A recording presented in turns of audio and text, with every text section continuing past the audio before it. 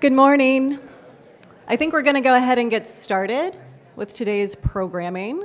Um, I am just here to give you a few announcements, give you the lay of the land.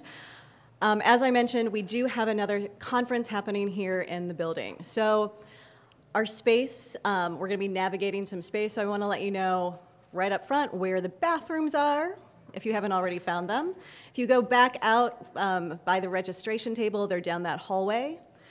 Three of our breakout session rooms, anything that's M2, 203, 205, and 210, are upstairs down the long hallway. We do have food in the back. Please continue to help yourself throughout the morning's program. We're going to be in here until about 1045. So definitely fill up on coffee. There's fruit. There's yogurts back there. Uh, continue to help yourselves.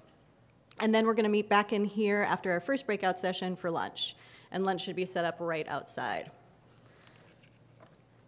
if I know a lot of you have been to the summit for years and years, and every year um, the feedback that we get is that you like the summit because of the networking possibilities. It's just an easy place to come and chat. And every year we supply you with an email contact list so you can connect with people after the summit. You'll notice in your program folders we do not have a printed email list. We figure we can just email you that email list. We're in the 21st century. It's amazing. Um, and along with that email list, we will also be sending you a feedback form. Every year, you give us incredible feedback that we definitely take into consideration, and it has helped improve the summit over the last many years. Um, also, just so that you're aware, there is no wrap-up session today. Um, the programming ends at 3.30, but we will have an optional tour of the Moraine Valley Library. It's something we're asked for every single year. So Tara Jacobson, who is in the back, um, will be leading that. If you will meet her at 3.30 just outside of this room, she'll take you across campus. It's supposed to be a beautiful day, so the walk should be nice. Our campus is beautiful if you get a chance to walk around or need some fresh air. I encourage you to do that. Um, so, getting to the reason we're all here today. Um, you know, this is the 13th summit, and we've been doing this a long time, and definitely we have never done it alone. Um, in the past, our partners have been Illinois State University and John A. Logan College, and they have been incredible support for us over the years. Um, and then in this past year, we have transitioned, and we're moving forward with a new partnership with DePaul University Library. And we are thrilled and excited about this new partnership and the ideas and the content that they will bring to our summit. Um, Heather Jagman and Jessica Elverson have been invaluable help over the past 12 months planning this. Um, but I also wanted to shout out to um, our neighbors to the south. Um, we are videoing all of this today, and they'll be watching uh, the keynote live. Um, so we're happy that they're joining us um, online.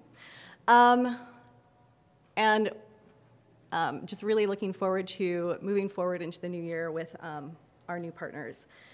Um, also, unfortunately, um, our dean, who has been incredibly supportive over the past year, you know, as we move forward in this new partnership and as we do all of this work to make today happen, um, our dean was not able to be here to help us welcome you. Um, and we apologize. she created this amazing video welcome that we're just not able to show, some technical difficulties. So I just wanted to thank her um, now. Um, she's been an incredible support uh, over this past year. Um, so now, moving on to the real reason, again, that we're here. Heather Jagman's going to come up and welcome you today and also give us a little introduction to our keynote speakers. Thanks, Heather. Thanks, Tish. So, as you know, the summit has a history of providing an opportunity for librarians, teachers, and practitioners across the educational spectrum to come together and share ideas and strengthen information literacy throughout the Midwest. And DePaul is so excited to have partnered with Moraine Valley Community College, and all of us on the organizing committee are so excited that um, you're all here to participate, share, and learn from each other. We're especially excited to host this event that brings together such a variety of practitioners. We have over 170 attendees and presenters today, and that's the biggest summit um, that we've ever hosted. And um, it's a great, big, diverse crowd, too. We've got about 90 people from colleges, universities, and community colleges. Um, but K through 12, we've got over um, about 50 people. So it's really a wonderful mix. So we're anticipating this is going to be a very energizing and inspiring mix and um, should really provide opportunities to share our expectations and hopes for students and other learners um, as they travel between our institutions because public libraries are also involved here and have a few presentations today. And we can all work together and discover the intersections of how um, and where we can support those learners and each other. So um, in fact, we hope that somebody here in the audience, maybe many of you will be inspired to propose a, ses a session for next year um, so that we can learn how we can better connect. Um, but, you know, I don't want to get ahead of ourselves. Let's try and enjoy today. Um, and I'll do that. I'll get us kicked off by introducing our keynote speakers. Trudi Jacobson is the head of the Information Literacy Department at the University of Albany Libraries. She currently co-chairs the ACRL Information Literacy Competency Standards for Higher Education Task Force with Craig Gibson. She received the Miriam Dudley Instruction Librarian of the Year Award in 2009. Her current research involves meta literacy, including badging for meta literacy abilities. ALA Editions has recently published the new book she wrote with Tom, um, Meta Literacy Reinventing Information Literacies to Empower Learners. Trudi and Tom also offered a meta literacy MOOC um, this past fall. And Trudi is also very involved in advancing Michaelsen's model of team-based learning by librarians and wrote about team-based learning in communications and information literacy in 2011. Tom Mackey is Dean and at the Center for Distance Learning at SUNY Empire State College in Saratoga Springs, New York. He teaches courses in digital storytelling and information design and developed meta the Meta Literacy MOOC with Trudi. In 2011, Tom co-authored the article Reframing Information Literacy as Meta Literacy with Trudi for college and research libraries, and that research is what led to the expanded project, their new book on meta literacy. This team also co-edited four books on faculty librarian collaboration for Neal-Schuman Publishers. Tom's research articles have been published in First Monday, Computers in Education, the Journal of General Education, College Teaching, the Journal of Information Science, and the Journal for Educa of Education for Library and Information Science. And together they're going to present this morning's keynote, a keynote, Changing Models, Changing Emphasis, the Evolution of Information Literacy. They're going to focus on three exciting strands connected to information literacy and information literacy instruction. Meta literacy and its importance for individuals in today's information environment, threshold concepts, what they are and how they fit into the new ACRL information library framework for higher education, and how they might be used in teaching. And finally, they will explore the need for information literacy awareness and teaching to be incorporated into what faculty members do and how this is playing out at our institutions. The keynote will feature highlights from their new book, and Trudi will also connect the dots with her current work as co-chair of the ACRL Task Force revising the standards. So please join me in welcoming Trudi and Tom. Thanks.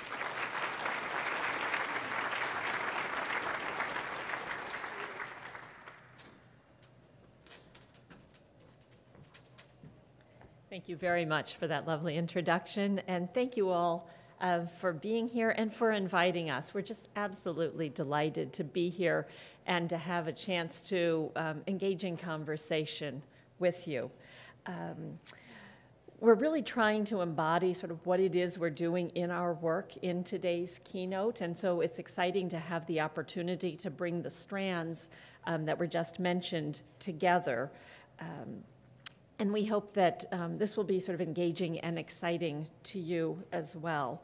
Um, we do have um, a Twitter feed that I do want to mention, and it is up here, and it's just Pound Meta Literacy. So if anybody is tweeting, please feel free to use that. Um, I also want to mention because um, both Tom and I come from academia, a lot of what we're going to be talking about is going to be situated there, and we know that there are others here who are not in that setting. So we'll try to sort of expand as we're able to, but please feel free to ask us questions about that. And um, just one more thing about the questions, because we're going to be talking about a number of different areas. We encourage you to jot down any questions you have as we're going along. I think what we'll do is hold the questions till the end, um, but just so ideas don't escape. Um, in the hotel this morning, I noticed the little notepad that they provided, said something like catch random ideas. Um, maybe these won't be quite so random, but um, if you could um, maybe keep track of them so that we'll be able to try to answer any questions that you have. Okay. So with that, I'm going to turn it over to Tom, who will start off the actual presentation.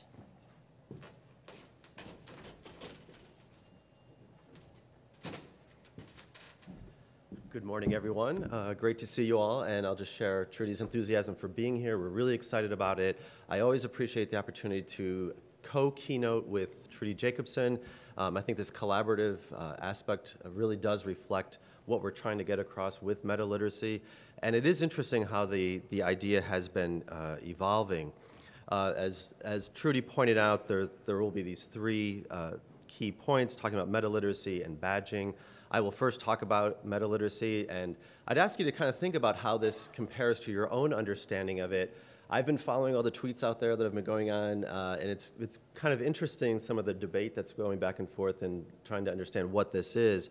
So as we talk about it today, this will be a great opportunity to ask questions when we we come back up here together and for the question and answer part. Uh, Trudi will be focusing on the thresholds concept and then also discussing uh, information literacy in the disciplines. And we'll have some really great examples as well as part of this discussion, and we'll want to hear from uh, you as well.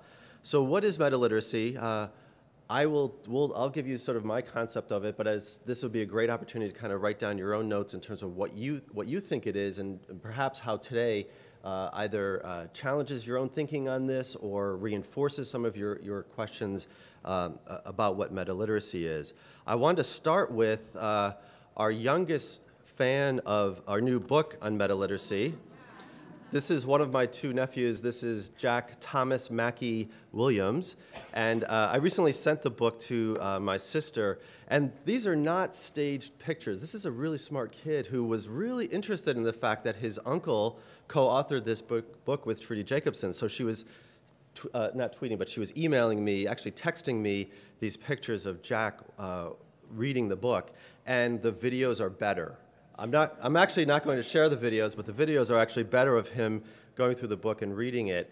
And it's, I, I just find this really fascinating because um, there is something here about how, you know, this, you know, we, we tend to think of our students in the now and who they are.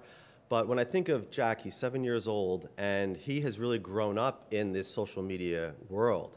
Um, when he was four and five, he knew how to use my sister's iPhone for taking pictures, looking up pictures. Um, he hasn't tweeted, he doesn't have a Twitter account or, or an email account, but um, the, I, have I've been constantly fascinated by sort of his experience with this, and I'm sure if you, if you have kids or nephews or nieces, you're, you're seeing the same kind of thing.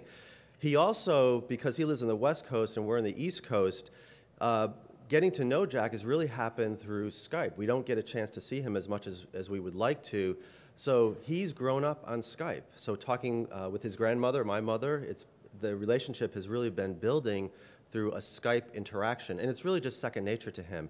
And the same thing with me as well. So he knows us through this virtual medium, and I think that that's what we need to think of. Not only the students that we're working with today, but who are who Jack's as Jack moves through this system. How are, how are we prepared to work with him uh, with, with the kinds of abilities, abilities that he, he has. And I think it's also important to think about meta literacy as an evolving concept, and that information literacy as a meta literacy is something that needs to evolve and change over time.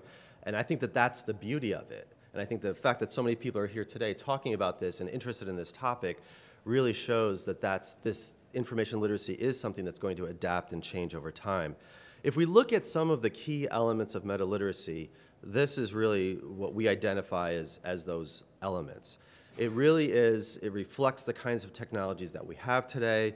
So it really is the ability to produce, collaborate, participate, share information, and also to really enhance the metacognitive uh, part of learning.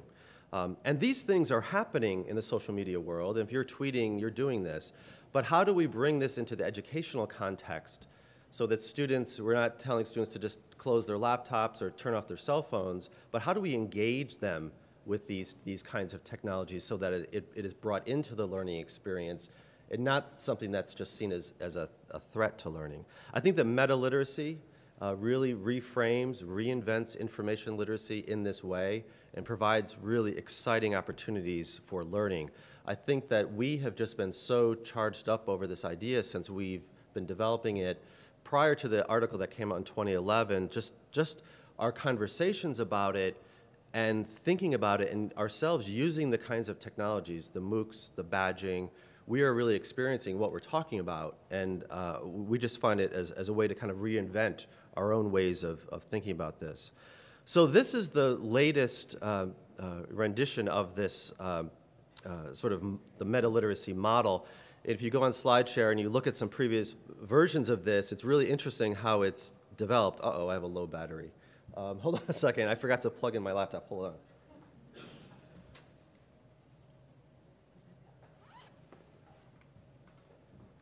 I knew I forgot something. Let's see here. It's good to have these reminders. Okay.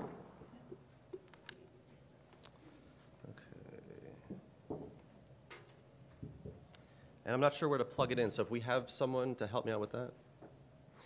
It's not an emergency or anything, we still have some battery, but I just realized I forgot to plug in my laptop. So, hey, I just adapted to a technology challenge, so, uh, and it always happens when I'm presenting. I always end up proving that point, that you always have to be able to do that. Do you think? I actually know? Um, All right, great, thanks. No one got zapped, it worked. All right. So this is really um, the latest version, and it's been developing. It really started as a, as a PowerPoint slide, and we had started with these circles, and it's just kind of a very simple idea. And originally, the PowerPoint slide just kind of opened up as this circular design. But um, it has changed a little bit. We originally had sort of collaborate. It was a little too literal. Collaborate, collaborate was kind of jutting across all of this to show that it intersects. But we realized actually in, the, in the, some of the final moments of developing the book that it really should be on the outer circle because in many ways the outer circle is uh, kind of the outcomes of what we're looking for. Those, that's really what we want students to be thinking about. So if you look at this um, from the center, um, you know, we see information literacy as the meta literacy. So uh, it's interesting that meta literacy, the term, has taken on a, a, life of its own, and it's advanced even from when we first started talking about it. But we, we weren't saying we want to replace information literacy with this other concept. We were saying that information literacy is a meta literacy. And so what we intentionally tried to create here is this layer of metacognition as as key to all of this. And we're not the first ones to talk about metacognition and information literacy, but it is really positioning it as a centerpiece of uh, this, this reframed, reinvented model. So we really see it as critically important. And, and even going from the first article to the second article to the book, that metacognitive piece in, in our, own, our own thinking has really advanced quite a bit. But if you notice, you'll see some words here that are very similar. So the ability to access, determine, evaluate, understand information, which are just some key terminology with the, uh, with information literacy. Although in the book we talk about how the ability to determine, when we compared uh, information literacy to other, other literacy types, it's not as commonly mentioned in some of the other formats. Um, so we really think it's something unique to information literacy in that that ability to determine an information uh, need, it actually has a metacognitive component to it because you're really thinking about what that particular need is, what that information need is. And then as you go out in the circle, um, and I see this as kind of a, a, circle that can sort of change and move around, so it's not fixed, but it is kind of fixed in this image. That's, these are just some of the current trends that we've been uh, working with and thinking about that this really influences our thinking about information literacy. So that the impact of social media, the impact of mobile technologies, uh, online environments, and open educational resources really are, uh, it's really a fundamental shift, I think, in, in this idea that we're just going to look up information in a book or in a collection somewhere, that it is really dynamic environments. It's portable. You can be anywhere. You are, you could be out uh, in, here and accessing your library from a, a portable device. Uh, open educational resources are things that can be shared and reused. So that that's all key. And what that leads to is this outer circle of uh, you know, that really forces the issue of being able to collaborate, share information, becoming a, a participant in, uh, in, in these activities, and again, then be able to use information, incorporate, but we just don't feel that that really goes far enough, and that the, that's why the terminal, terminology needs to change and, and adapt. And then key here as well, this ability to produce information, so that our students really are seen as active uh, agents and participants, producers, sharing information. And we think that they're doing this, we know that they're doing this, we see them doing this, but not necessarily doing it in, a, in an educational uh, context unless we design the learning in that way. So if we go back to the original definition as we outlined it in the first article, what's it about? Uh, being able to promote critical thinking, obvious connection there to information literacy. That's why it's not something that's just separate. Um, but also having the ability to collaborate in a digital age using all those technologies. Open educational resources really challenge the way we think and act as teachers because it's not just something we own, it's something that we share and something that we're willing to put out there for other people to repurpose and to reuse. Um, that's a real shift, I think, in, in thinking. Um, it's also a compre- this idea of it being a comprehensive framework, you know, you know, to effectively participate in social media. So the idea is that it really needs to expand beyond sort of um, access, determine, use information, that it really needs to be much bigger than that. It needs to be all those, all those other elements and those characteristics in that, that outer circle. And that it's a unified construct that supports the acquisition, production, and sharing of knowledge. Uh, again, all about collaborative communities. And one thing I'll put out there is that uh, one piece of this that, that, we, that we feel has been a little bit confusing is that we're not arguing for multiple literacies or multiple meta literacies. We're saying that information literacy is the comprehensive, overarching meta literacy that connects to all of the others, and that they, those have to be brought into it. So th those characteristics have to be brought into it. So another group has already done multiple literacies. This we see as being very different because we're saying that information literacy, when you really analyze it, a lot of those key characteristics also relate to media lit literacy, digital literacy, um, all the other literacy types. So that there's, it's a framework that's inclusive of, of those other pieces. And I think there's so much more that can be done with that. And I think that we're just scratching the surface of that idea. But it has been, I think, misunderstood in some of the, the interpretations of, of the concept. So we see information literacy as that overarching meta literacy.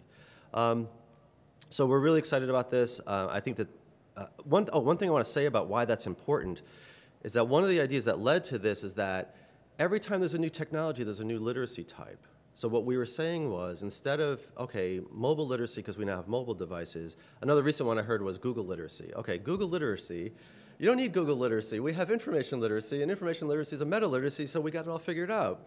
Um, but you don't need Google literacy. Uh, if you have sort of this expanded conception of information literacy, I think it's covered. And I think that the, the problem with having so many different literacy types is that it just ends up becoming confusion, confusing. And it seems to be, re be responding to the actual technology type and not the, the learning that needs to happen so that a student can adapt to whatever the technology is. So I think there are some key characteristics we can all learn as we're using these different devices. We don't have to come up with another set of, of uh, uh, literacies. It doesn't mean that sort of everything can be pulled under un one umbrella because there's some pieces of the different literacies that, that might not work, but I think that we have to constantly be aware of, of what those characteristics are. So I probably just made it even more confusing, but that's my statement on the matter. We can, we can discuss that later.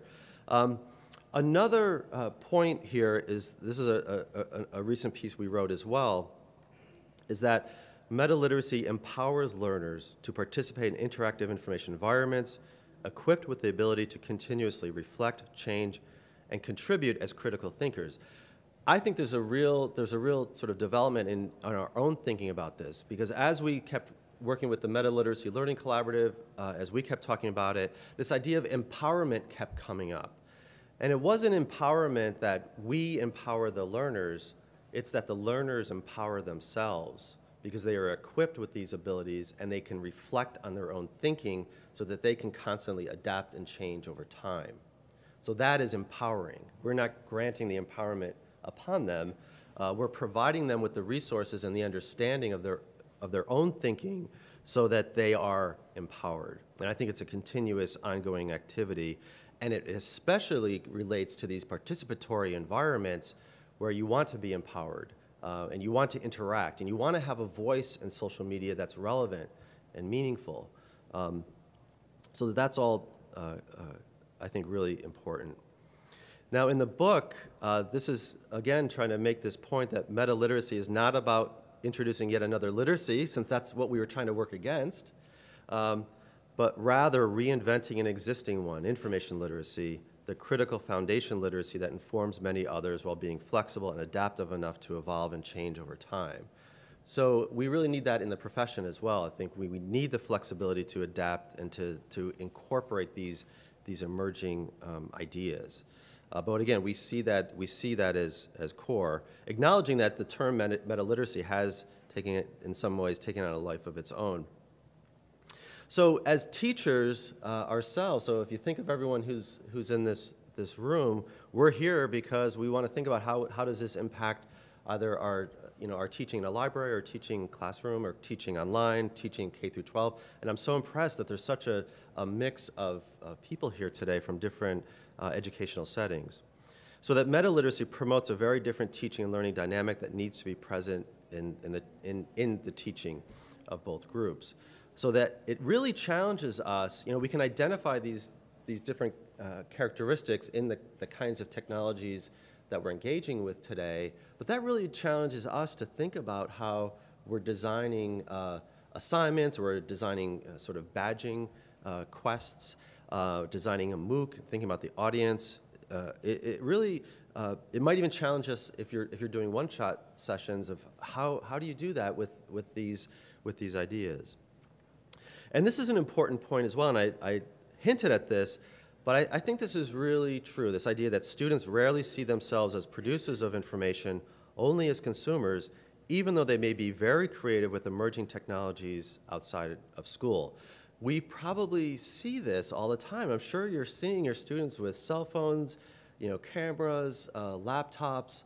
Uh, I think that there's something that's that's fundamental that's happening there, and I think that they're they're very sophisticated uh, in, the, in their use of those tools, but they may not necessarily be seeing themselves as producers in those environments, especially within an educational context.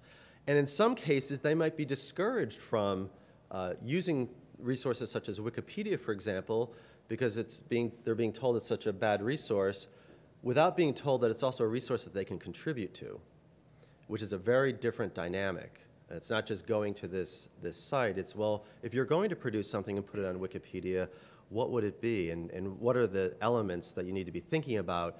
And it really is, it's writing, right? So it's, it's key. It's writing, it's research, it's all those things that I think are central to information literacy. Uh, but it is a shift. It's really encouraging, empowering students to think of themselves as producers in these environments. And this point, too, that um, very often it's probably they're still being asked to write papers. Uh, but what about these other media formats? We know that a, a fundamental shift has happened in the kinds of technologies that have emerged and that continue to emerge. The, the kinds of things we have today are going to be very different in, in five years. So again, it's, it's returning to this idea that we want them to be collaborative, we want them to be producers, and how can we do that? One key aspect to this too is, is the metacognitive piece. And again, I think we've just, we, we've delved into this in much greater detail in, in the book. It was always a, a part of it, um, but this idea of thinking about one's own thinking. Um, a lot of people have written about this. We return to uh, Flavell's work, that original essay, which I just thought was really interesting because it, he, he talks about it in such a um, easy to understand way. Um, this idea of cognition about cognition or thinking about one's own thinking, uh, and this is a different from a different source, is this is happening whether you know we're aware of it or not. Um, and I think it has a real impact on how learners uh, see themselves. So a learner, just think of the sort of metacognition that's probably happening, happening in a Google search uh, as students search and find things, they're, they're kind of, uh, they're, they're, thinking about what they're finding and searching is going to change. And they might even end up having misconceptions about what they, they find. They might think that the kinds of searches they're doing are, are fine because they're, they're getting an endpoint, they're finding something. But they're, you know, they might think that they're really good searchers and when they're, they might not be, and that's actually something that's, that's, in, the, that's in the book.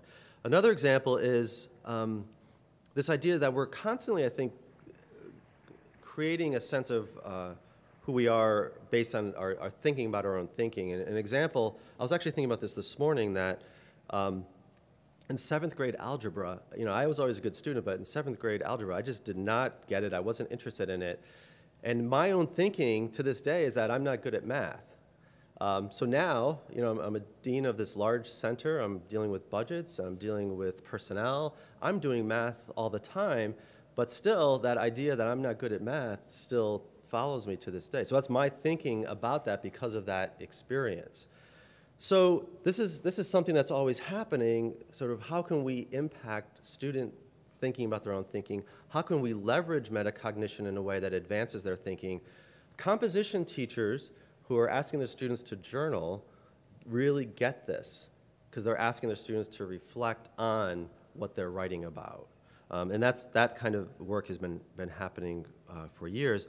But I think what it does is it, it allows the, the uh, sort of this metacognitive piece to happen where students um, are much more aware of their own learning. So it's not just us telling them and assessing them, it provides them with the tools to really assess themselves. And I think hopefully in a very positive way. This is another model we created just for the book, and this is sort of what we see as the, the meta-literate learner. Again, very simple circular design, the fact that this could happen any sort of entryway here with the, obviously the learner at the center. Um, and th through our work with the Meta-Literacy Learning Collaborative, we really realized that it's not even just the metacognitive piece, that it's really this, these four domains. So the behavioral piece is important. So what students should be able to do upon successful completion of a learning activity. Uh, the cognitive piece, what students should know about uh, upon successful completion of a learning activity. And that tends to be where we, we always position uh, the, the, information literacy pieces. But then also the, the affective piece, uh, sort of emotions and uh, thinking about um, so how someone feels about sort of their their engagement. And then the, the metacognitive, how a learner thinks about their own thinking. So it's really these four things um, that are part of meta literacy, part of an expanded information literacy. So if we're putting this, the student at the center of this and we're thinking about this in our own learning activities, what we hope is the outcome is again all those active learning uh, pieces so that the student then becomes the participant, the communicator, the translator, the author, the teacher learner becomes teacher through this process. Um, we're not just pushing out information to the, to the student, collaborator, producer, publisher, researcher. And many of these things are happening, but uh, we, I think we really need to foreground it and ramp it up in our own teaching uh, so that it happens more. And so that we, again, are thinking of the student, all of these active learning pieces, really empowering pieces, because it's, they become the teacher. It's not just us. Um, and I don't think there's anything more powerful than that when you, you work with a student and you know, you're learning from that student. So um, meta-literacy is metacognitive. Uh, this meta metacognitive approach challenges a reliance on skills-based. So what I'm talking about here is really moving beyond just, just the skills. Um, and it's really much more about knowledge acquisition and how that's done collaboratively, which is a whole other key piece of this, that we're not just in silos, that we learn as when we work with others. Um, and this is one of my favorite images that conveys this because uh, it's a self-portrait of uh, Judith Leyster. And any self-portrait you look at, I think this is really metacognitive because it's not just a picture of an artist at an easel, it's how the artist uh, sees herself as an artist at the easel. So it's the, the artist sort of stepping back and having that awareness of who they are. And if you look at all through art history, it's just fascinating um, how artists see themselves. That, to me, is metacognitive. That's a much deeper, deeper level understanding of, of who you are.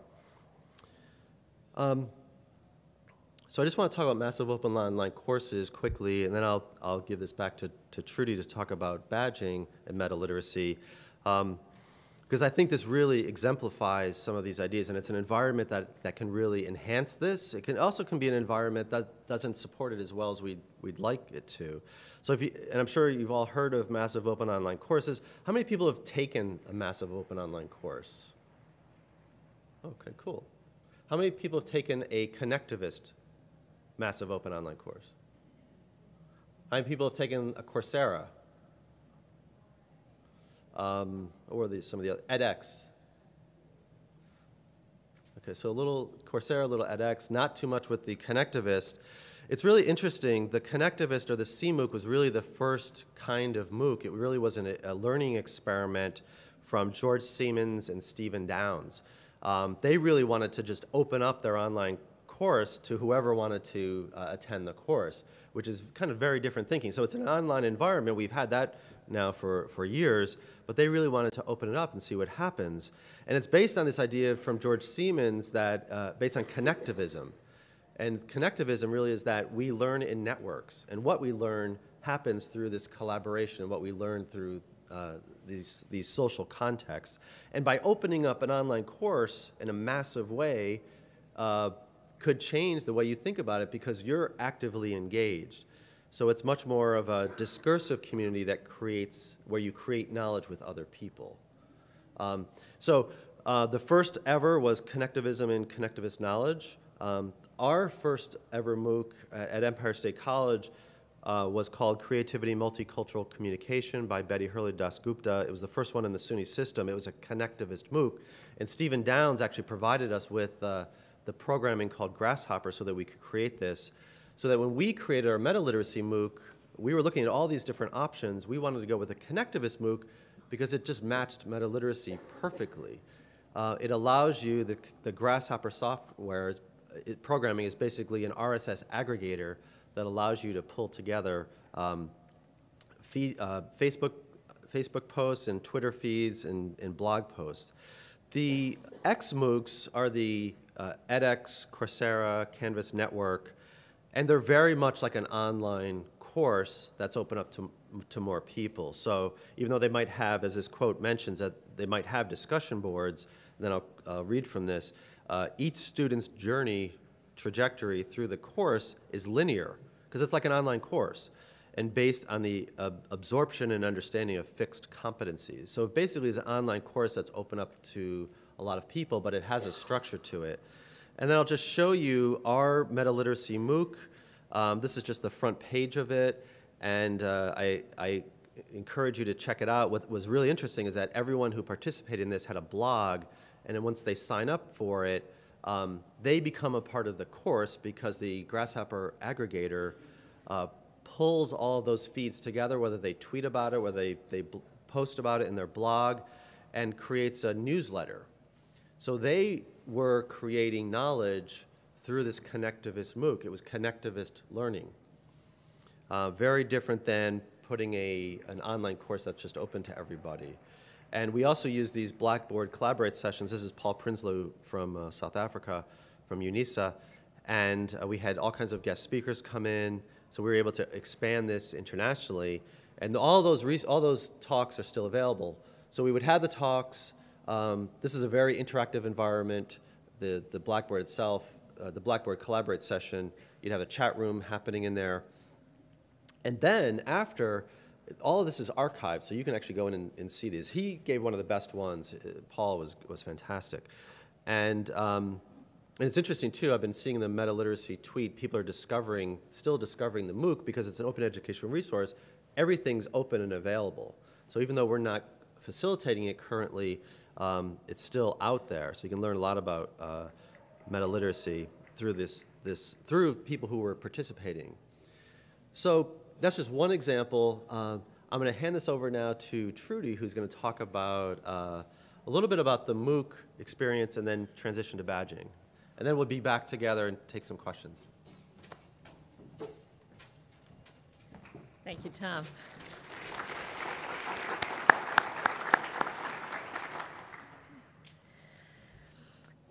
So Tom was telling you about connectivist MOOCs, CMOOCs versus XMOOCs. And we really did think that this model of the connectivist MOOC is just perfect, as he said, for meta literacy because we wanted students to be reflecting on their own learning.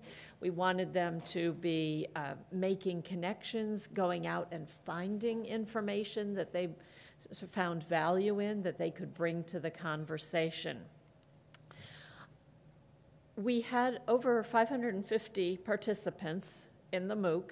Um, the vast majority of those were professionals in the field, but I was teaching a course of approximately, at the start, 18 or so students. They signed up for this course not because they thought this would be a truly exciting educational experience, but because they needed the general education information literacy credit. So uh, we had the intent that I've just been talking about, that this would really be a way to learn in a new way. You noticed that I said we had about 18 students at the start. Okay. The reality was that these were undergraduate students, mostly juniors and seniors, but they were very unused to this model of learning. And they actually were unused to online learning at all. None of them had ever taken an online course, none had taken a blended course. This was a blended course. They were doing the MOOC, they were coming to class. Um, I heard something from them I never thought I would hear, and that was could we have more in class sessions? I think it's because they didn't really get the MOOC and didn't really want to do the MOOC. So they thought that they could sort of fudge it. Um, but the self direction that was involved was just so new to them.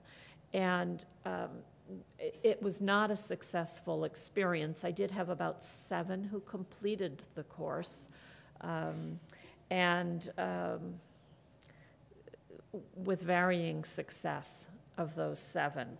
So, uh, something that we really thought would be an exciting experience, but really there needed to be more education. I was trying to do some of it, but, um, and maybe as students become more used to self directed learning or at least just taking online courses and needing to meet requirements for that, something like this might work. So we had the best of intentions, but for the undergraduate students, it was not what we had hoped. Okay. So um, so that was just a follow-up on the MOOC that Tom was talking about. I'd like to talk about another initiative in connection with meta literacy, and that is badging. How many of you are familiar with badging, um, like in the Boy Scout, Girl Scout sense, and in higher education or in education in general? Okay, so a number of you. So this idea has been sort of um, translated from the type of badging, you know, where you'd have your sash and you'd have a badge on it. I was not a very good Girl Scout, and I don't think I had very many badges. Uh, so Tom mentioned the Meta Literacy Learning Collaborative several times. We took those slides out, but let me just tell you a little bit about it. Uh, it was a group, we had gotten a grant, and um, a number of faculty members, uh, librarians and uh, instructional design technology people from throughout SUNY uh, were committed to working on meta literacy and you'll see some of the effects of that in the badging and some other elements. So with the badging, this was one of the things we said in the grant that we would look into. Um, I'm thinking, badging? You know, are you kidding me? Um, I wasn't a really good Girl Scout. So here we're going back to this metacognitive thing. You know, uh, you know, I'm not very good at that. I'm, I'm not sure this, you know, got to be, you know, with the professor to, to learn. Um, so anyway, um, uh, I was proven really wrong. Uh, but uh, so there's some elements of gaming here, some quests, some challenges. There could be more than that. Um, that's what we're doing. Um, but these badges are shareable. So if you, with competency-based education that badges go with, if you can show that you are capable of doing something, you have mastered it, um, then you could share the badge that you get on LinkedIn or an online portfolio or online resume. So, Um, Here is a sort of visual image of um, the badging, a great image that Tom found. Um, And so uh, this is something where we decided, you know, we said we'd look into it, okay, so we'll look into it. The people on the grant were all type A personalities, and so you put us in this badging system where we're going to learn about it, and all of a sudden it's like, how many badges do you have? How did you get that one? You know, I'm going to figure this one out. Yeah, so you got really sucked into it. So, um, so in our exploration of it, we um, like when you are teaching, you come up with your learning objectives. And we had meta literacy learning objectives that are up on the metaliteracy.org site. Um, here you're just seeing the, the four major ones. There are the goals and then the objectives that follow. And anybody who comes to our breakout session will learn a little bit more about this. But um, what we wanted to do was to take the objectives that fall under these four goals and um, have learners um, sort of get what we've been talking about as meta literacy through quests and challenges and um, being able to show that they can do this and they feel confident. Um, Tom talked about, you know, they're being empowered through what they see that they can do. So that was goal one.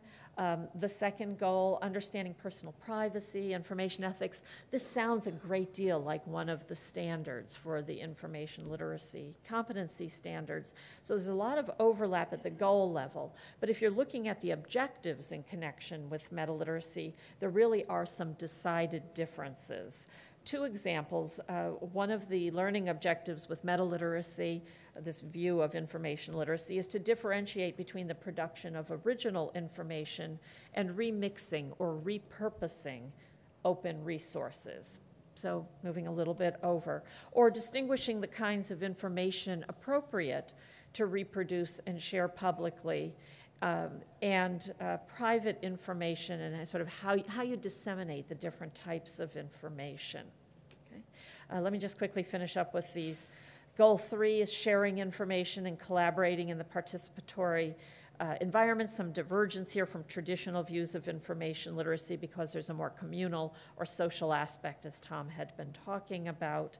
And with the fourth one, um, this one goes uh, rather broad. There's some overlap with information literacy here at the goal level, but the, again, the objectives, such things as demonstrate self empowerment through interaction and the presentation of ideas. Uh, gain the idea to see what's transferable. We always want students to understand what they're learning is transferable.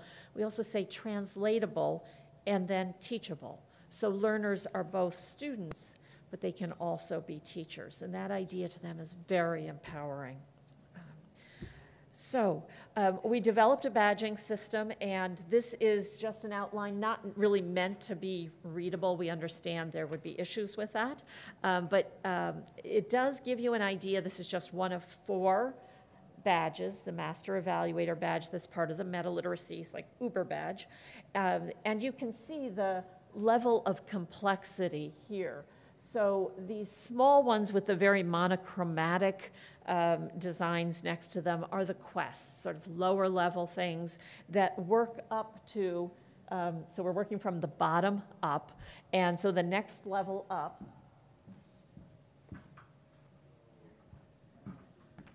would be the challenges. Okay, and um, and then you get to content badges, and then this sort of master badge, the master evaluator badge, and so there's a lot here. This goes with all these learning objectives from the meta literacy um, goals um, and their learning objectives, but they build. And they go from the quests where learners are going out and trying things, and then they, as you get up higher, they really need to reflect more upon them. So um, this is just the badging site, which you are welcome to go to. It's um, metaliteracy.learningtimes.net. And um, Tom maybe at some point can tweet that, so that'll be available. And um, so metaliteracy.learningtimes.net. And you can sort of get a sense of the welcome that we provide to learners when they register. Um, they can then start accumulating, um, working their way through the quests and the challenges and so on. Um, These are a bit different. Many of us have online tutorials. Um, in this, there is absolutely no automatic acceptance of the work that students do. So we're using this um, both teaching our own courses and with faculty members, but there needs to be a commitment to reviewing the work that the learners are doing. And so I wanted to show you just one item. This is content analysis overview. Um, thinking back to that chart, this is pretty high up, and it's um, synthesizing. The student needs to synthesize everything they've learned from a number of quests and challenges. And this student, um, we'd been talking about visual, uh, visualization of information, so she included that element. And what she did um, here is uh, on the green, it says, depending on your personal angle, many different takeaway stories. Um, realities can be spun, generated, promoted, look closely. So what she's doing here is um, providing information on what she was thinking about as she did this. Um, Just really, it's so exciting to see this. Um, So the preliminary observations, I used this in the fall, and then I used it in the spring. I was teaching an eight-week quarter course. I showed you that entire, that one badge with, there's like 23 elements in there. About 12 of my students did all 23 of those in the eight-week course on top of websites they were producing. It's a one-credit course. Um, I always get comments, this course is too much work, and it's a lot of work. Um, They were so engaged this time, nobody told me that. They work in teams. They did tell some of their teammates that, but they didn't tell me, and when many of them got the opportunity to, because I actually raised it to two credits for those who wanted to finish the badge, I was able to do that. Many of the ones who had been complaining were really excited about the opportunity of going for another credit, and they finished up all that they needed to do. Uh, So very engaged. Um, The work that they submitted was, in many cases, extremely high quality. It's just amazing um, to see what they were doing. I- should tell you, please don't tell future students, um, but my course is based on a 1,000 points. We all know you just divide by 10, um, but if a quest is worth 15 points, they take it pretty seriously. Um, It's really worth 1.5 points. Um, And um, they weren't acting like that. So either they didn't figure it out, um, or they just enjoyed doing it. So really good work um, and interest in earning the badge. And I was thinking, well, they'd want to put this on LinkedIn or wherever. But a couple of students told me, I want something to talk to employers about when I go for an interview, something that's a little bit different. So, um, so the faculty are obviously, the ones who've bought in, are interested because although we started for one or two of them grading their students' work, um, there two have been doing it quite regularly since we started it. They have 75 students each semester, so it's 150. I have one person working on my department on, you know, grading. She couldn't do it all. They watched what she was doing because they could sort of see with their students what was going on in the background, and then they took it over, which is really great. Talked to another person who I said, you know, I can help you with the grading. She said, no, my students want to do it. Um, really surprised. So they are willing to take that time. So moving from the badging to the threshold concepts. um, And this is what we're working on. Um, Troy is a member of the task force um, for the ACRL, Association of College and Research Libraries, information literacy Framework for Higher Education, the new name, um, a draft that we're putting together. Many of you, I'm sure, are aware of it, that we are proposing will take the place of the competency standards that were approved in 2000, which are showing their age at this point. And so these threshold concepts, um, it's fairly new concept itself, came out of uh, work that was being done in the United Kingdom um, in other disciplines, not in information literacy originally. Um, um, three and now sort of four researchers, including Lori Townsend, who is a member of our task force, um, here sort of describe threshold concepts and their criteria. Jan Meyer and Ray Land, or Jan Meyer and Ray Land, are two of the original people who worked on this idea of threshold concepts. But they're the core ideas and processes that um, are significant in any given discipline. But they often go unrecognized by practitioners, and I'm finding that myself as I think more and more about this. These are the things our students really need to understand um, to be able to successfully sort of practice what we're teaching them. We've all talked about we don't want to turn our students into like mini librarians, but there are important things that we know that will sort of get them over the threshold that will really help them in a way that you know, some of the skills-based um, instruction just doesn't do, or they're learning. So, um, so threshold concepts are, by def, the definition that's been proposed for them by Meyer and Land, transformative. They cause the learner to experience a shift in perspective.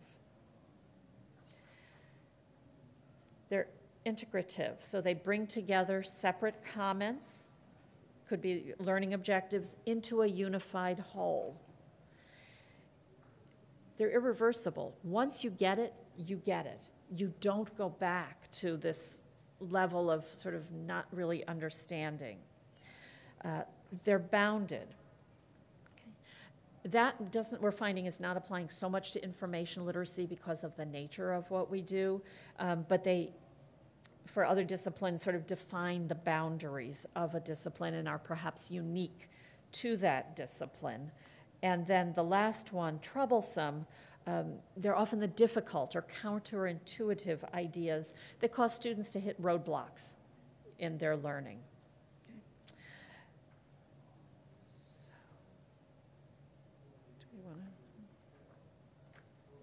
All right.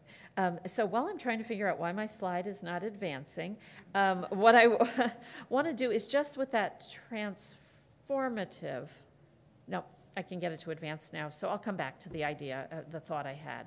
So um, this is the website for those of you who are interested in seeing the work that the task force is doing. We've put out two um, segments of our first draft that involve these threshold concepts that we're talking about here. And um, we're doing more than just using these concepts that were identified through uh, Townsend and Hofer and Brunetti's work, but also coming up with supporting elements for them. So there are the threshold concepts and how they can be integrated into the teaching or the curriculum, knowledge practices. What abilities would we like learners to have? um, to show that they're making progress or have crossed the threshold. What dispositions, going back to the affective elements, or what habits of mind are important? Um, Self assessments. This goes back to the metacognition. What do they need to be thinking about and sort of checking on themselves to see if they understand this? And then um, what assignments and assessments. We're thinking of providing examples, but this is not prescriptive. It is dependent upon the situation that you're in and the teaching that you are doing. Um, so, um, and some sample threshold concepts. These are three out of probably six that we're, we're um, using from the work of um, the researchers. Scholarship is a conversation. research is a process of inquiry, authority is contextual and constructed. I'm only going to have a very brief uh, look at one of them, but if you think about these, these are things that are, are, have been included in our teaching for a long time. Um, scholarship is a conversation when I thought I wasn't going to be able to move my slide. What I was thinking about is I used that in my course where I was um, causing my students to go into work overload. Um, but I took out some things in that course and I put in the scholarship as a conversation. Again, mostly juniors and seniors that I tend to end up with in this course. Um, and so I was thinking, in their own disciplines, they would probably understand this idea of um, the conversation going on, to have ideas developed, for knowledge to uh, happen and I, I introduced the idea of like a seminal work. Totally unknown to every student in that class. But as we talked about it, I asked them to try to find something like, it didn't have to be a seminal work, but a work that obviously had had influence in the, the field that they were working on, and then how people worked with it. So this scholarship is a conversation. It really had a very animating effect on the students, and there seemed to be learning going on that was not happening when I was saying, okay, for your topic, you need to find a book. You need to find a reference book. You need to find a journal and a magazine article. It was just, it transformed what was happening in that classroom. Um, so, um, and many of them were seniors about to graduate, and it just sort of opened up this new view. So here's one. This is not the full description of the um, authority's contextual and constructed threshold concept. It is actually uh, part of a summary of the text of it. But just to give you an idea, and I didn't want to put a ton of text on these slides because there's one that's going to have a ton of text, and I didn't want to do too much of that. So authority of information resources depends upon their origins, the information need, and the context in which those information resources um, were created and will be used. Okay? So to go with that, the dispositions, and there's just one here. So they're motivated to find authoritative sources and recognizing how this authority could be manifest in unexpected ways. I once taught a, a course um, that used social media, and we, um, rather than more traditional sources, and we told students to go out and find like blogs that would be authoritative. And I think this is changing, but they really just you know, no, they're blogs. They can't be. So it could be manifested in unexpected ways. Knowledge practices or abilities. So maybe recognize that authoritative content can be packaged formally or informally and might use dynamic user generated information. And then the self assessments. So, an example challenge yourself to find sources where the authority is really maybe not as clear as it could be. And the assignments or assessments, um, this is just one. The reason it's long, um, and the reason why I picked it, is because this was in our second iteration of um, the two threshold concepts we recently put up. We started to put in more information. And so um, here we're mentioning this could be something done in a lower level course, maybe in a one-shot session. There's a lot of concern about that. We really need to extend the conversation with faculty members, and we think threshold concepts will do that, um, but for current realities. We mentioned that this overlaps with the format, um, probably is going to be is process, but that name may also change. Uh, another threshold concept. But here's something maybe that you could do, and actually the content here isn't absolutely critical because we're not saying this is what you have to do. Just here's some ideas. Think about them. How would this work in your setting? Okay. Okay. So last segment. Um, people want to take a stretch break for a minute? Take a minute, 30 seconds, whatever. Just stretch or move, or um, you've been sitting a long time. And then we'll finish up with this, and then we'll uh, give questions. And um, stretch break is turning into a, a restroom break. So we're going to regroup in three minutes. Good luck, women.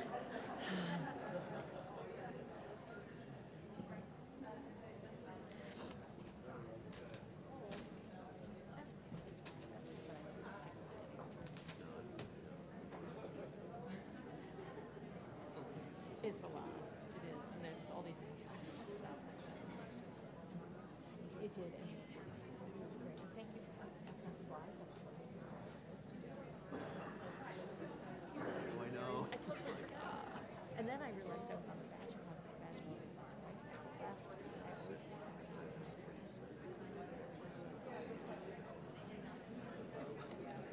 We have no idea.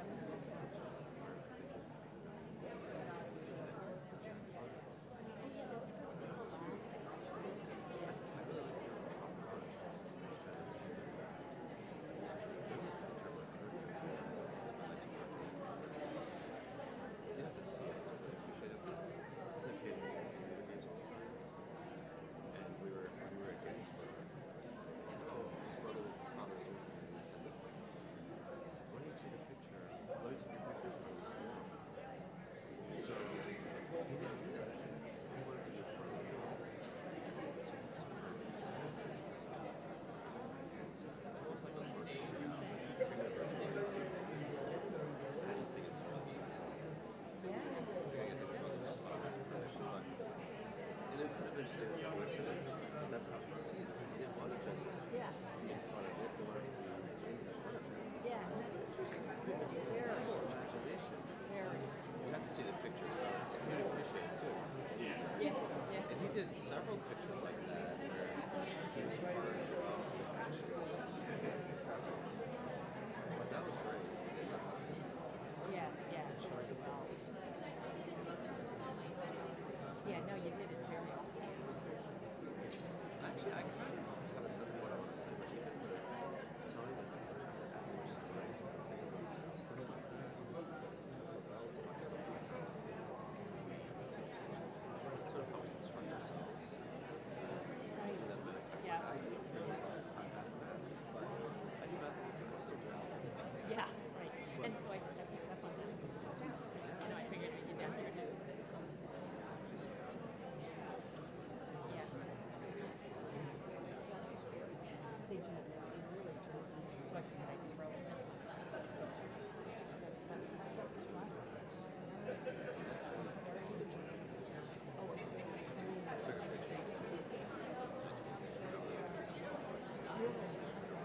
And I think people have been like pictures of the screen.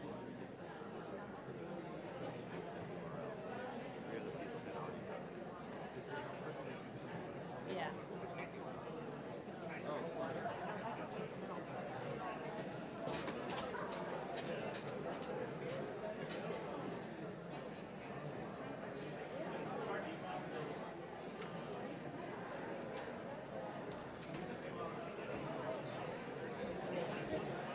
Okay, so if we could start to regather, um, and maybe in about a minute, I'll get started again.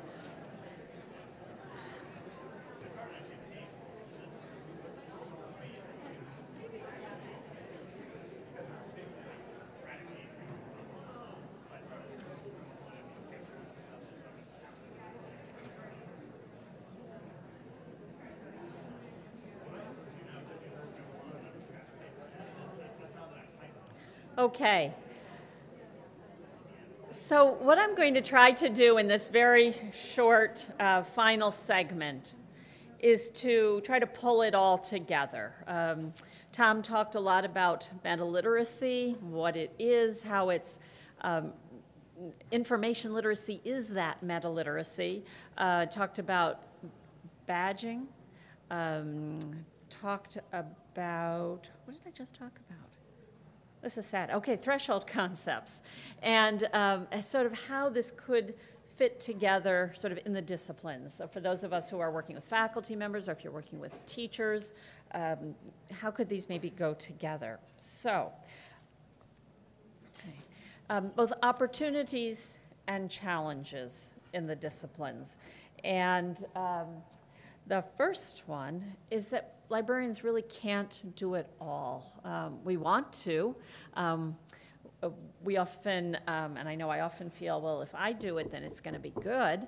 Um, but um, it, it, there's just there's so many students, and there's just so many of us. So um, we really need to get more buy-in from others. But then there's some faculty members that I work with have a really good idea of what information literacy is. And then there's the accounting faculty member who said, my students all know how to use spreadsheets, so they're information literate. So um, there's that worry and tension there. Okay. Then there's sort of incorporating the goal of this meta-literate view of information literacy. And so if they don't fully get what information literacy is, this is going to be a little harder. But I'm finding that the threshold concepts are garnering a fair amount of attention and interest. Um, I've mentioned them to several faculty members, and they say, Do you have an article about that that I could read? When I pick myself up off the floor after I finished fainting, um, I give them one. Um, so, so I think that there's some, some entry points there, and then potential role for badging or other kinds of um, competency-based learning initiatives. The University at Albany, we have had um, strong general education competency requirements, um, both lower level and upper level writing, information literacy, oral discourse, and critical thinking um, for a number of years. But in 2000, uh, SUNY Central uh, said that, you know, everybody's going to do these. University at Albany jumped on this really quickly. We had a lot of strong support for information literacy. Those all became courses or components of courses. It couldn't be that, like, in freshman comp, a librarian would go in once or twice and then information literacy would be covered. Um, so there were courses for information literacy on campus, either taught by librarians or taught in the disciplines. Um, we have just had a change in these competency requirements. I've been on the planning of this throughout, and now there's going to be both a lower level requirement for all four of them and an upper level one. So now we have two information literacy requirements, but the upper level one is going into the major. All four of them are going into the major. So it's the responsibility of the department. They have new learning objectives to work with. I'll talk about briefly in a minute. And there's lots of new kinds of conversations going on. I'm on the council that actually reviews their plans, and so I'm seeing the good and the not so good. Um, the lower level is mostly going into a new writing and critical inquiry course um, that we did not have before.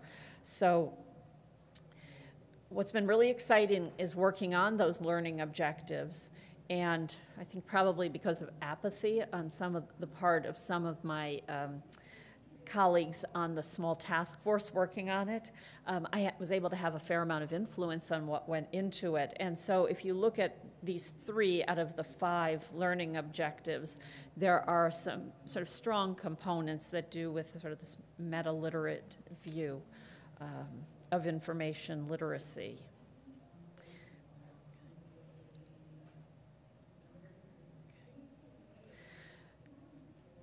So as I'm thinking about working with this on campus, um, with the lower level, we're trying to have more extensive use of the badging. That's where those two faculty members I talked about earlier are. They're in that writing and critical inquiry department. And that department is going to start standardizing what they do across the 17 instructors. Um, so this might be a way to do it. And actually, the person in charge of that program caught him on um, the academic podium and just said, you know, are you going to have that meeting soon to decide? And he said, yeah, and what I'm really thinking about is maybe we'll have a writing and critical inquiry badge. So the students, even though they're not going to do all 23 of that one of four badges, they may have a subset of seven or eight, but they're going to have that feeling that I got through all of those, and they can show that badge. Um, with the upper level, the threshold concepts um, and badging within the disciplines. So perhaps when you're thinking about working with teachers in subject areas or in the disciplines, it's possible um, that they're going to understand a lot with the threshold concepts. We've been seeing that there's been some concern from librarians that the faculty members will not really get these threshold concepts but those who have gone out and started talking to them, we're not seeing that. So that might be a way to really uh, take a new tack in the conversation we've been having for years uh, about this. Um, And then, uh, if you're using something like badging, and I know that there's more people thinking about it or similar things, that might be a way to take um, more generic things and customize it. So, Tom will come back up here, and um, we are open for questions. Thank you for listening.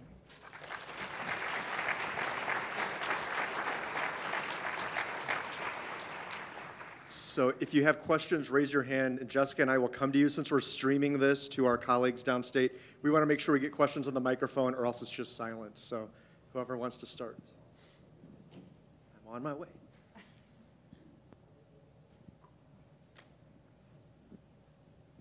Thank you. Do you feel as though having university buy-in on the badging system is essential in terms of you must have a badge or certain badges to graduate? Um, I know in some liberal arts colleges, you must have writing rich classes, for example, to graduate, or you must have a certain diversity element in order to graduate. Do you think badging plays a role in that regard? Um, I can think of of maybe like three strands to answer that question. And did everybody hear the question? Um, Mike seems very low. So, so the question was, um, does there need to be buy-in from the campus on the badging? Um, And so, and you mentioned a couple of other elements where um, sort of it's campus-wide. Um, And so would this need to be one of those programs? Um, So the first thing that comes to mind, I know some campuses are thinking about co-curricular transcripts or co-curricular records where, um, so other types of things students are doing could show up on that. And I see some nodding, so it might be, we, you know, could ask for more information about it. Um, Albany doesn't yet have that. It's sort of thinking about uh, a co-curricular record is what they're going to be calling it if they do it, so that it could be sort of um, legitimatized in some way. Albany is not actually an institution where badging um, is accepted, is, it's not prevalent. In fact, our badging program is the only current badging program that we know about, but there seems to be some openness to it. Um, and another department has shown some interest in doing it as well. Uh, so I think, and I did speak to uh, somebody at Purdue um, who there's more going on there with badging. They actually have developed their own badging platform. They would like to sort of get involved with that. So there seem to be a number of different models, but I don't, I think if we can sort of show we're trailblazers or get involved with that co-curricular transcript, there would be entry points. Um, and it wouldn't need to be a situation such as uh, Tom's institution where personal learning, PLAs? uh, Uh, prior learning Prior assessment. learning assessment, uh, is something that um, is uh, a very common concept. I Right. mean, Right. I mean, I think anytime you have institutional support, the better. But it, what's exciting about these open resources, it doesn't have to depend on that. So uh, an instructor, librarian could be very entrepreneurial and say, this is an open resource, I'm going to build this into my, my, what I'm, my own teaching. And that's really exciting. So it's not something that the, it's not something that's credentialed in that way. It's not, it does, it's not a, a credit bearing, but I always see it as something that leads to something that's credit bearing because it, it's similar to an assignment. And I think that the folks who, who attend our session today and really see what a, what a badge is, the sort of elements are very similar to what you would design in, in your course, but it's delivered in a very different way and it's open and collaborative with other instructors. So in some ways, you have to create this thing, let it go. So I created several quests for Trudi, and they weren't mine for my course they were part of the badging system and anyone can use it, use them. And when I hear from Trudi and they, she says, my students loved your quests, I'm like, oh, that's great. So it's still that feeling of being a teacher, but you're not as directly involved. So there are many different uh, elements of this.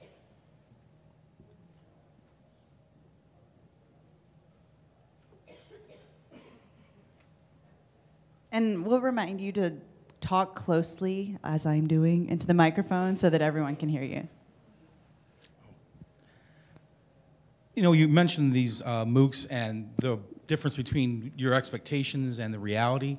The question I have is when you think about the origins of the unwillingness of, of students to be self directed learners, and obviously the badges is kind of trying to point students in that direction, what other ways have you found to motivate students to be that self directed? I mean, what's the origins for why they in these online courses they can't seem or are unwilling to move in that direction like what what's the history of that i guess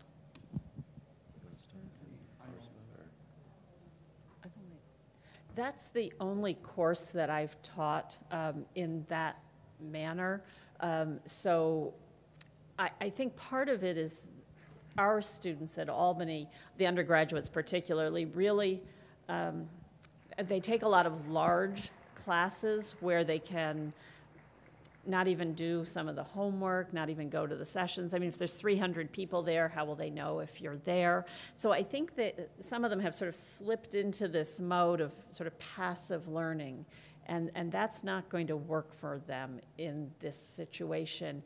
And having this come sort of at the end of their academic career, and there's just one of them, um, having no real preparation for it.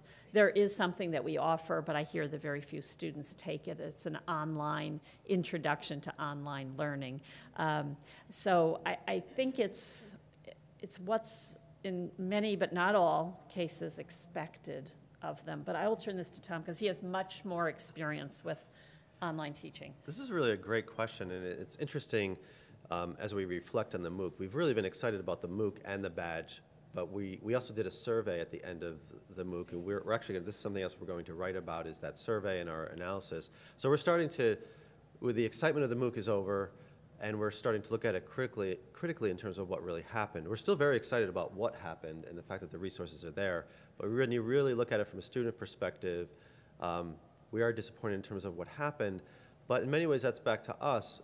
What could we have done? And I hope that in writing this, this next piece that will will come to sort of what could we have done differently to better prepare the students? Because the students at, at uh, the University of Albany really uh, weren't prepared for that experience. It wasn't just an online course, it was radically different connectivist experience that was also blended. So they really weren't ready for that. But it's interesting, the badging experience is very different. So the badging, when you hear Trudi talk about it, it's clear that the students benefited from that but that's something that's brought into the face-to-face course, and there's a different kind of context there that maybe made that work compared to the MOOC, although work, the MOOC worked for some students. Um, we do know that self-direction is critically important for the online environment, um, but it works. Students can be very successful, and of course, as the dean of uh, the largest provider of online in the SUNY system, um, we're, we are successful at doing that, but it doesn't just happen. Uh, and we lose some students too. Um, but we do a lot to prepare our learners. We do uh, assessments in advance to see if they're ready, and some of those assessments are self-assessments for them to determine if they're ready for this online environment. We develop, we have an online orientation to prepare students. We do a lot in terms of the intake when we're talking with prospective students to explain to them what this, this is. And of course, Empire State College, half of the enrollments are online, but the other half are face-to-face. -face. They take place very individualized with mentors in centers throughout New York State. So sometimes a student might want to blend that face-to-face experience with the online. Sometimes they might come to us because they think that we're Empire State College, we're a part of it, and then we'll say, well, maybe you, you know, you live near the Syracuse Center, maybe it would be better for you to pursue your, your study there. So it is, self-direction is key, um, but it's something that can definitely be done. I think that what we'll learn from this is how to prepare students for that environment. And what's interesting is that this is the problem with MOOCs in general. The completion rate for MOOCs is terrible. So what's the model? I think we need a different model for MOOCs, whether it's connectivist or whether it's uh, Coursera-style MOOCs. Um, I'm not sure if 500, 1,000 students really is what is, you know, we get excited about hearing those numbers, but I'm not convinced that that's really what it takes. I think it's trying to find smaller groups with, within that environment. For example, we cap our online courses at 20 to 22. We don't do 500 students in a course. We just did it for the MOOC.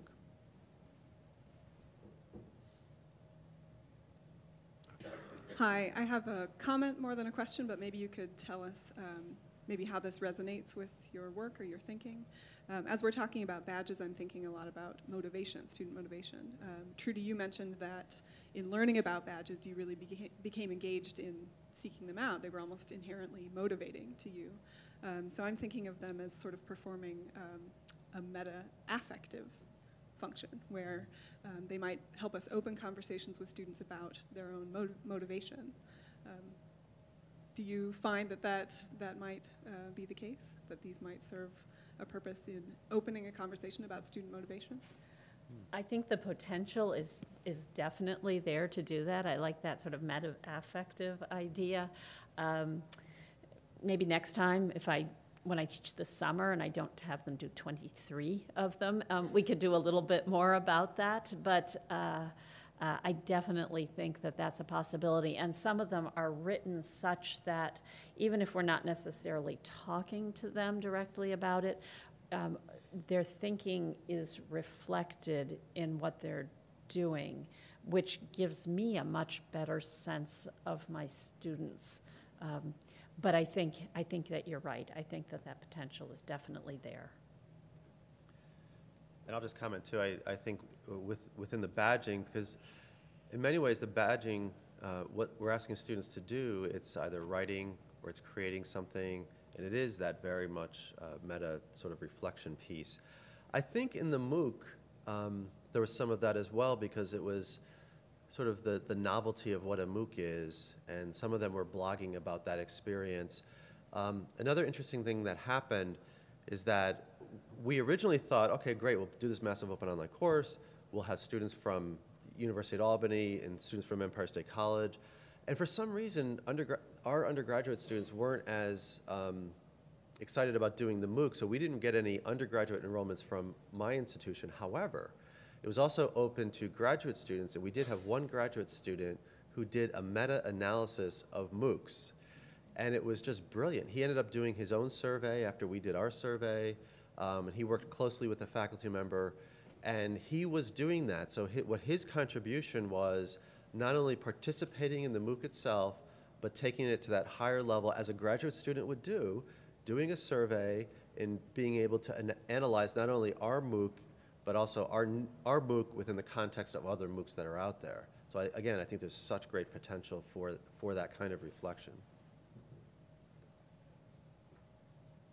your talk, and I'm um, really excited about how you're emphasizing metacognition. I think this is a really interesting idea of metacognition um, being a part of the, the badging.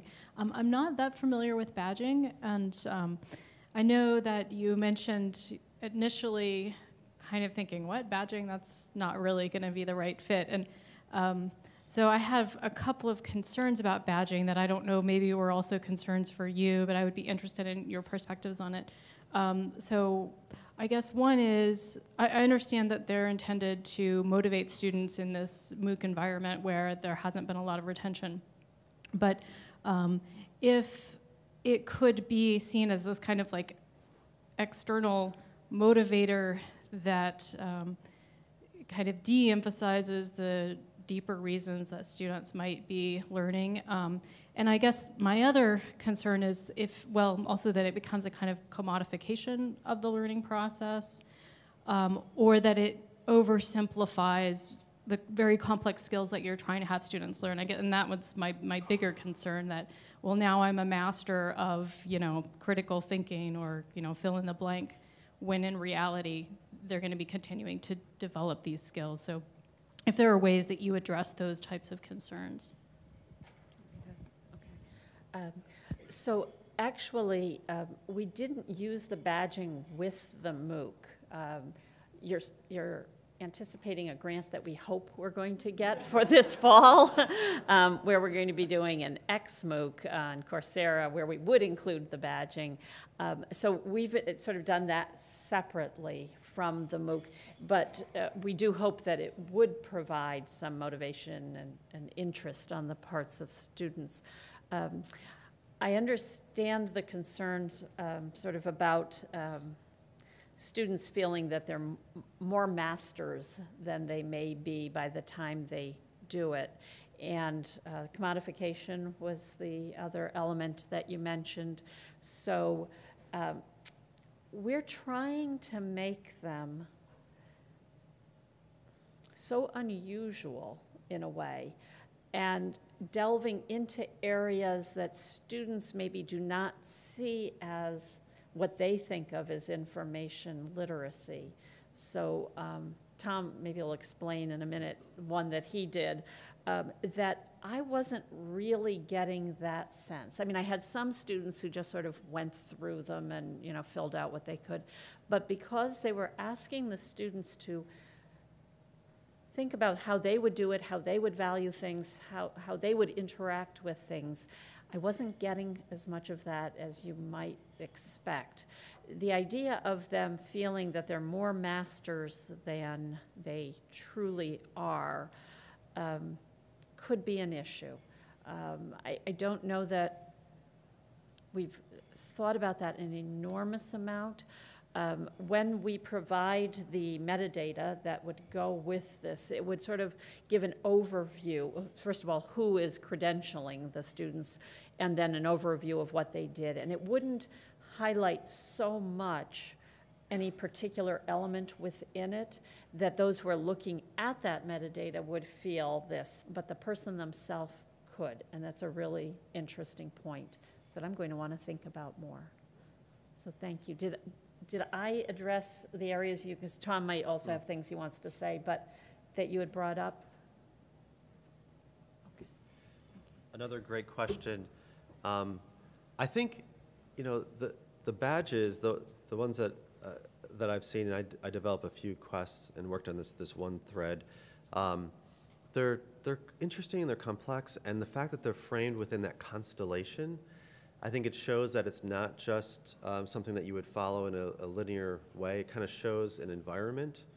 Um, and you could, you know, be really cynical and say, and I'm not saying you're being cynical, but I'm just saying you could, you could say, well, if someone gets an A in an information literacy course, it's sort of like, or a composition course, well, oh, well, they're great writers in their set. They're, set, that's all they need to do.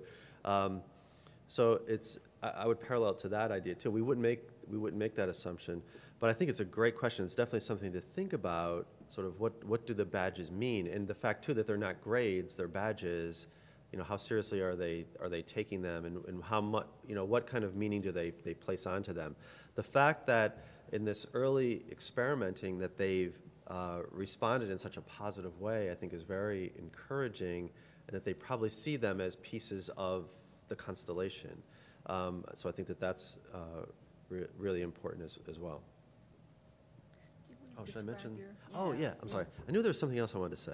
Um, so I worked on, I've been hearing uh, Trudi talk about how exciting it is and how fun it is to create these badges. And then I, uh, she challenged me to write uh, several quests and a badge focused on, uh, it was format type, but we, did we call it something else? Format type, uh, Format is pro, or the, the early ones, or the one that you did It recently? was, yeah, the recent ones. Oh, For, I forgot what it was called, actually. So format type, it was really about the packaging and all that. I can't remember right now. But I took this idea, I was immediately, I really struggled with it at first. How am I going to build this into a badge, and what am I going to ask students to think about? The badge I created, the, fir- the first quest I created, asked students to, um, oh, wait, what is, what are we calling it? Collaborative creation. That's why she sent it to me. Collaborative creation with uh, feedback mechanisms, speaking out, and informed consumer. And it actually uh, developed from that. So feedback mechanisms, we were thinking about um, trying to, how do you look critically at you know, reviews, like TripAdvisor reviews or book reviews. These are things that are in social media all the time. Um, it's user-generated information that can inform what you're thinking. So instead of just discounting it because someone you don't know or a bunch of people you don't know are reviewing something, whether it's a book or a, a, a hotel or something, how would you kind of look at that critically? So I came up with this idea of um, having students plan a trip to Speaker's Corner in London, where at Speaker's Corner in London, you can um, basically go and say whatever you, you want. Um, and I was really focused on okay, well, if you're going to take this trip to London, how would you get there? how would you create your budget, how would you use Expedia and user reviews, um, how would you uh, make critical decisions about the hotel you're going to stay at based on the reviews, because I do this all the time. I secretly, uh, I'm an anonymous person on TripAdvisor, and I love it, and I'm always providing reviews. So, you know, kind of work that into it. Um, so, how, but how do you take that information in a critical way and also write, write things? And um, it was interesting. I thought I was really smart and had a really good idea. And Trudi said, well, this is really good, but you should do a continuation quest where the students actually go to Speaker's Corner, what are they going to say? I'm like, oh my God, how did I miss that? That's like the most important part of it. So that led to, we did the feedback mechanism where they're reviewing all of this sort of social information, but then I built the, um, the speaking out because I found some really great resources for Speaker's Corner that were focused on democracy and speaking your mind and what, what that is. And there was actually a website on speaking out and sort of the responsibility of that it all came back to information literacy and the, the kinds of things we're trying to teach our students um, in finding a voice and researching uh, ideas critically.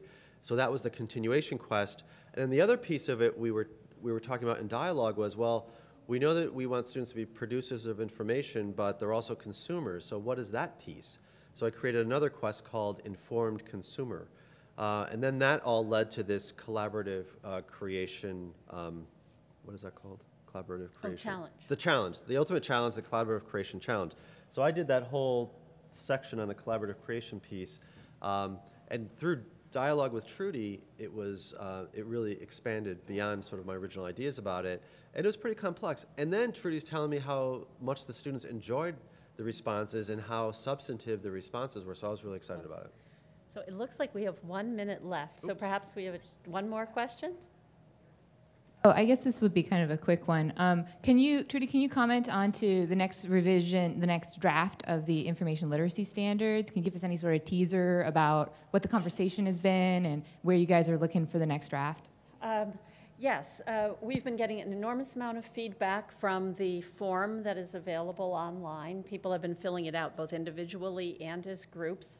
We've been reviewing it. We have an in-person meeting in Chicago next week, um, and we're going to really be looking at, um, you know, what is it that we can make changes to. We've already started to make changes. We have um, um, the meta literacy learning objectives have been removed from each of the threshold concepts, but are going to be integrated better into uh, either the um, knowledge practices or the um, dispositions, depending where they belong.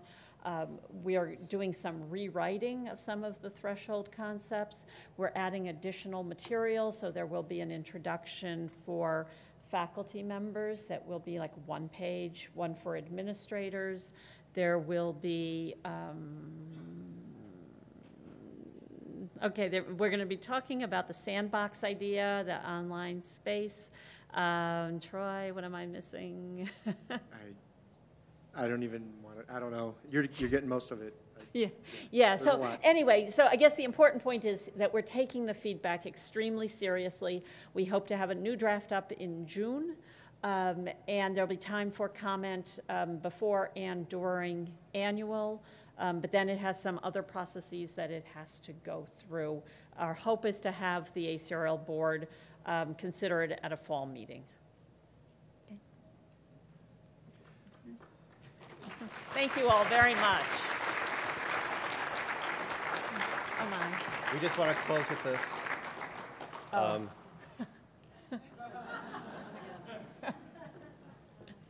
Thank you so much. And before you two leave this stage, um, I just want to, let's thank them again. Um, Thank you for that presentation. I also wanted to thank them, um, well, the team wanted to thank them for donating their time. Um, We keep this summit really, I think, inexpensive, and we can only do that because of the generosity of people like Trudi and Tom, who bring their incredible knowledge and experience and share it with us, um, and don't charge us money. So um, an extra special thank you to them, and just a token of our gratitude, Thank you.